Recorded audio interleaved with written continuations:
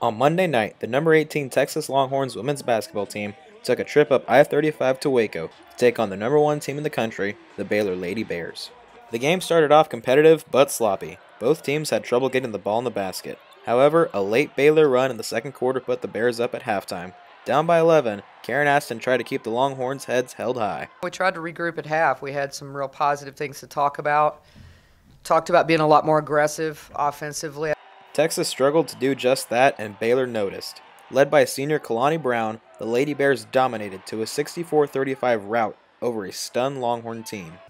We executed offensively, did what we normally do, didn't get rattled when they pressed us.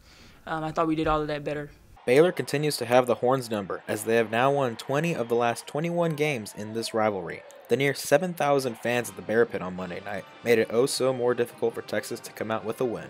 Coming into the game, the Horns tiptoed the lines of hosting the first and second rounds of the tournament in March. With a loss like this, it will be hard for the committee to put Texas as a top four team. With just two games left before the Big 12 championship in Oklahoma City, Texas will look to tweak their game and attempt to finish out the season strong. And we need to turn the page. I mean, I'm not happy with this performance, but like you're not in that point in the season where you need to beat a team up, you know, and try to figure out how to motivate them. I mean, like they're either motivated or they're not at this point in the year.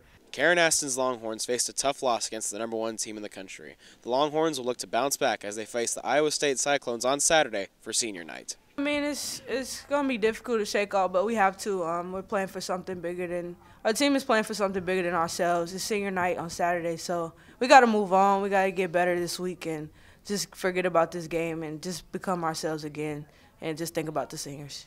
From the Ferrell Center, this is Justin Morris, TSTV Sports.